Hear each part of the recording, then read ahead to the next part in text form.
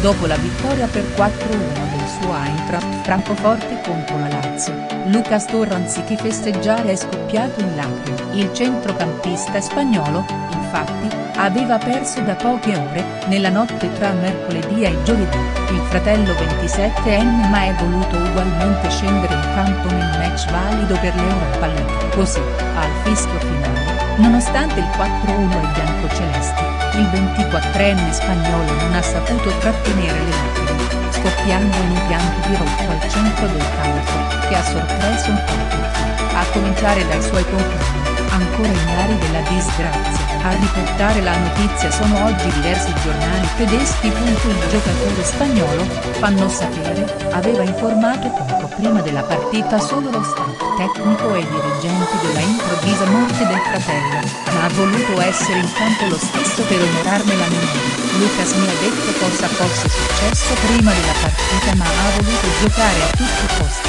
Gli ho chiesto se davvero se la sentisse di giocare gli ho lasciato libera scelta, il suo dolore ha oscurato la gioia per la vittoria. Le parole del tecnico dell'Eintracht, Utti, e anche il PS della squadra tedesca, Freddy Bobby, ricorda che il club ha lasciato Lucas libero di scegliere se giocare o meno e lui ha disputato una partita eccezionale. Solo dopo la partita l'ha lasciato il compagno e si è unito ai familiari con i quali resterà per qualche giorno, saltando così il match di Bundesliga domenica contro l'Ottomel.